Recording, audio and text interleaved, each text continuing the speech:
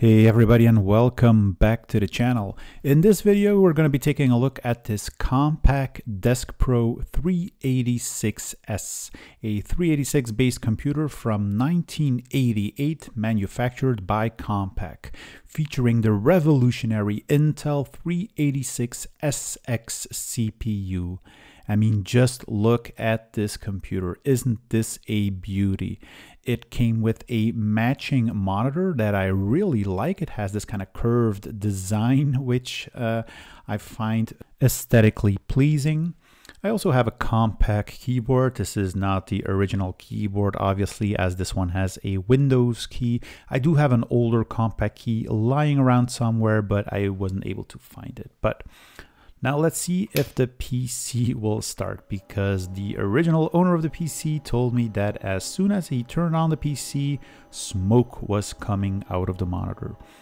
Now this wasn't the case at first, but as I was playing around with it, all of a sudden I heard this kind of, you know, burning sensation in the PC. And I have to say it got me startled. I mean, in all honesty, I started panicking, so I picked up my camera and I tried to locate the source of that fire.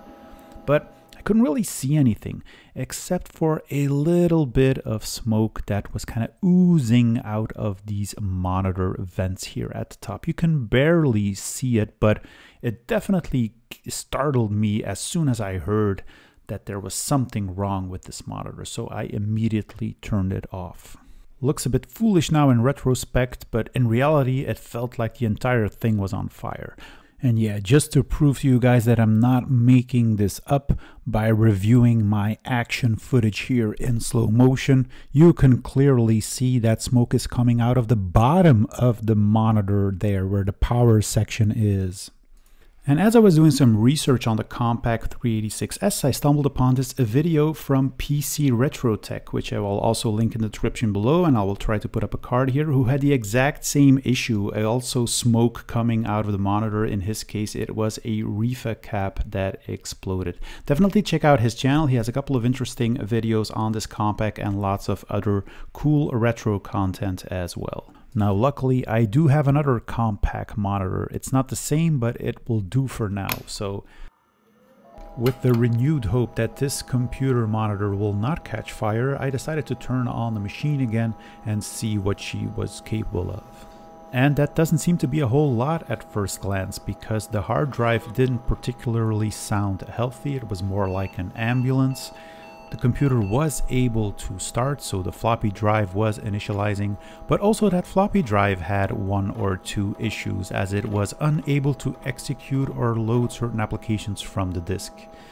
So yeah, turns out we have our work cut out for us, but let's see what this computer is all about. So we have a lovely desktop case, Compaq Desk Pro 386S. We have this slim uh, drive here, disk drive, 3.5 inch. I wasn't able to remove the floppy disk that I inserted initially, so I had to use a set of pliers for that. So yeah, different form factor here. So um, nice little power switch. Uh, two LEDs, one for the power and one for the hard drive. On the back, pretty standard stuff. We have the power supply connector. We have PS2 ports for keyboard and mouse. So this is a computer from 1988. We have a printer port, serial port, and a VGA port. We have a key lock on the back and four expansion slots. Now Compaq uh, typically uses these thumb screws here to uh, open and close the computer case, which is a nice touch so that you don't really need any tools to get in there. So by uh, opening up these three uh, thumb screws on the back, we should be able to slide open the case as I'm going to be doing here and see what we find inside. And yeah, so what we find inside is a pretty non-standard layout. We have a little bit of documentation here. We have the drive base here. We have an exhaust fan. We have a weird looking power supply that takes up the entire depth of the case. We have one expansion card with a motherboard beneath it. We also have the PC speaker. In the documentation here, we see uh, the model, which is the Compaq 386S. We have three switches on the motherboard, it seems.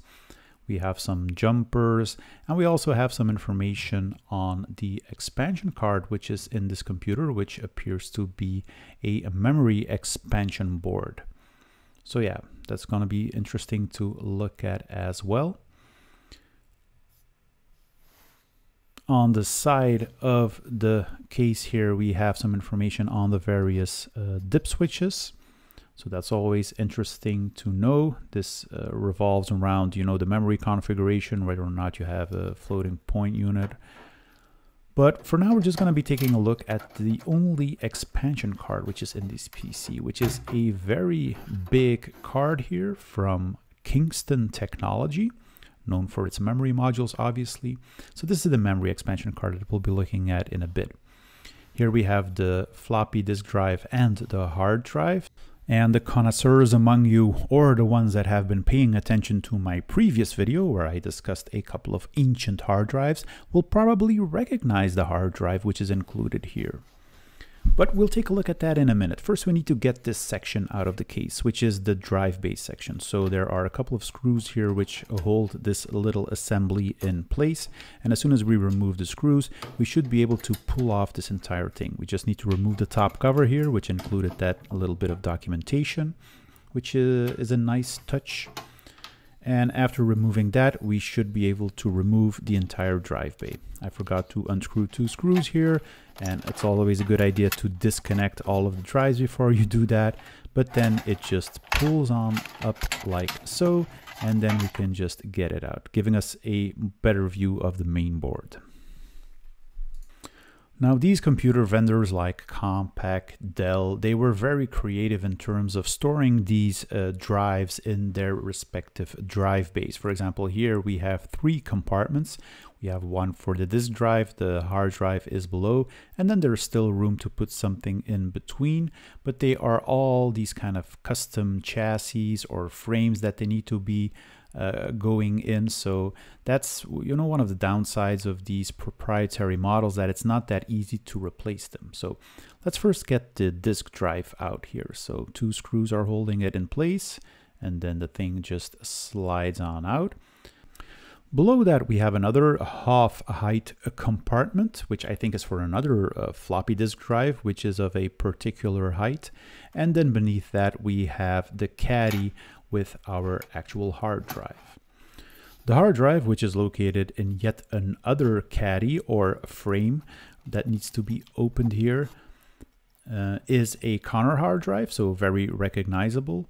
I do find it annoying that you have all these like brackets that these hard drives need to be slotted into. I mean, you have a bracket here, there's the bracket that I just pulled off, then there's the, the frame where it needs to be put in. So yeah, that's really annoying.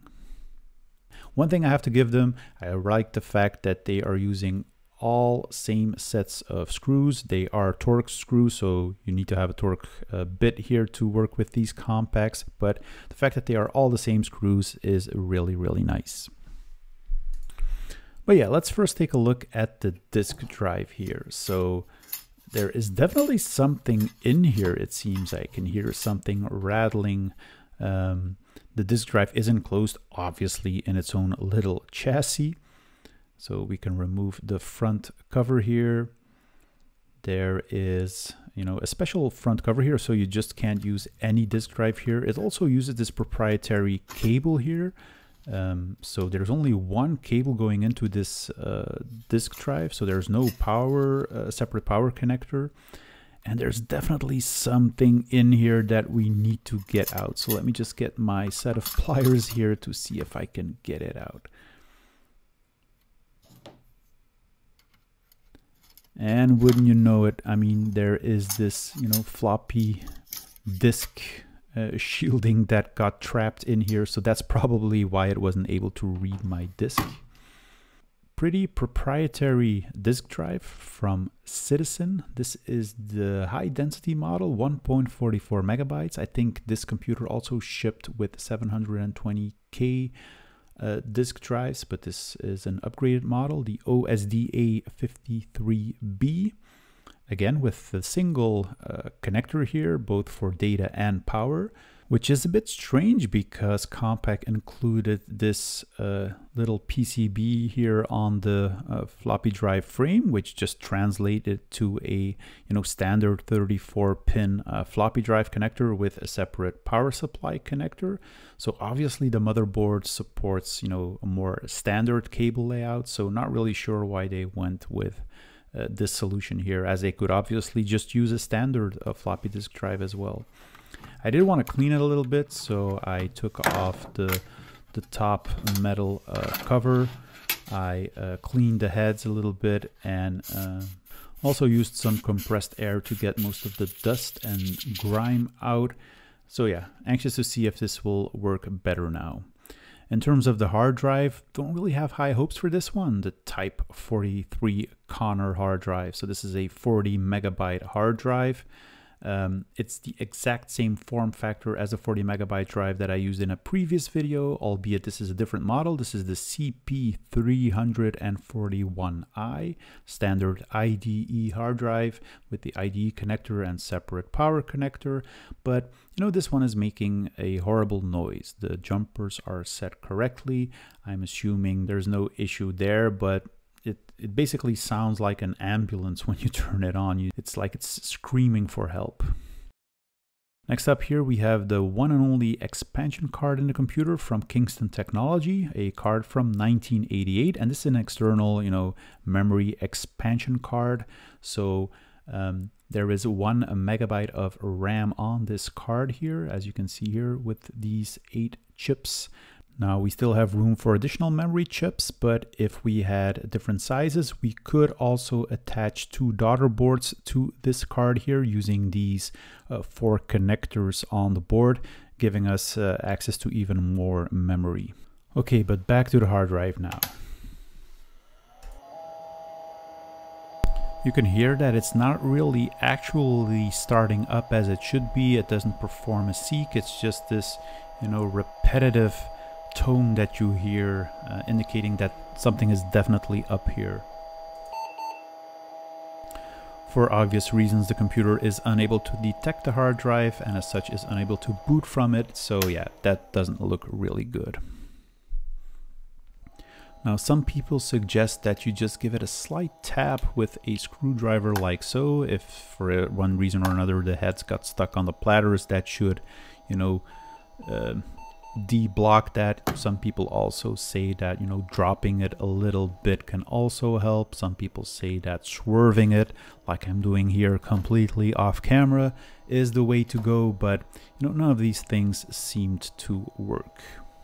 Now, for a minute, I thought that it might be the CMOS or BIOS settings that caused this hard drive to act up. Perhaps it wasn't properly configured. Obviously, the date and time for this computer wasn't set, the system options weren't set but I was able to burn the diagnostic disk from an image onto a bootable floppy and by booting that we entered the Compaq setup utility where we can not only set our uh, date and time but we can also configure our disk drive size which is 1.44 megabyte. We can even set the uh, numlock position on startup and then we get this nice summary where uh, we have various aspects of the machine. The fixed disk drive isn't auto detected, so you can select from a number of hard drive types. So yeah, I try to use hard drive type 43 obviously as this is the hard drive which was in the machine. But yeah, didn't really have high hopes that this would work, and my suspicions were confirmed because after startup, the hard drive was still making the same obnoxious noise and it wasn't able to boot from it.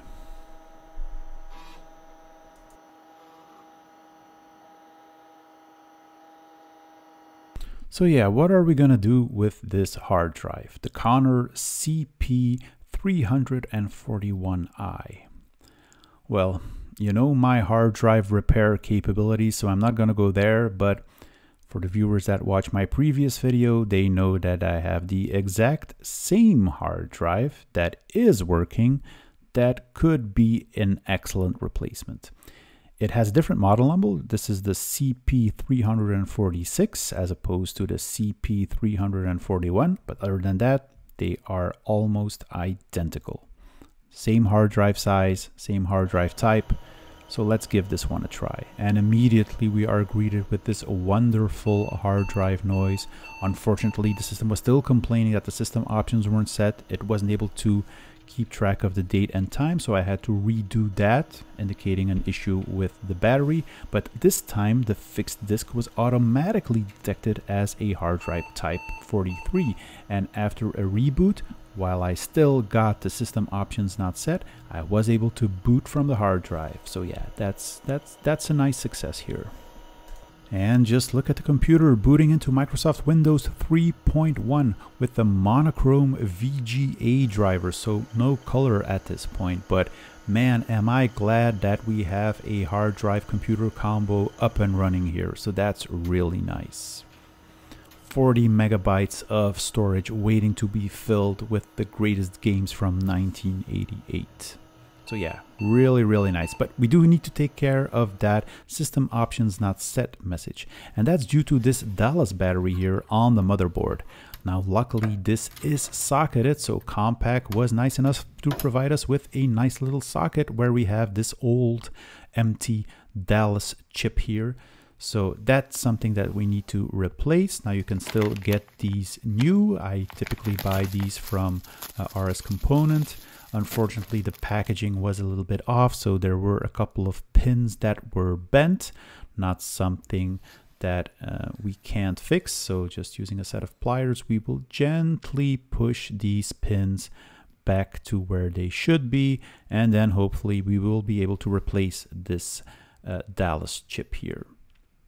So yeah, looking pretty good if you ask me.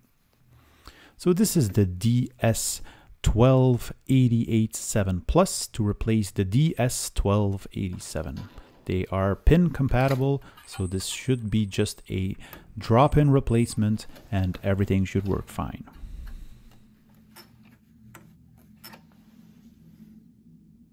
Now, I do want to point out another option for replacing these real-time clock modules, and that's a solution provided by Necroware, which also has an awesome YouTube channel, by the way.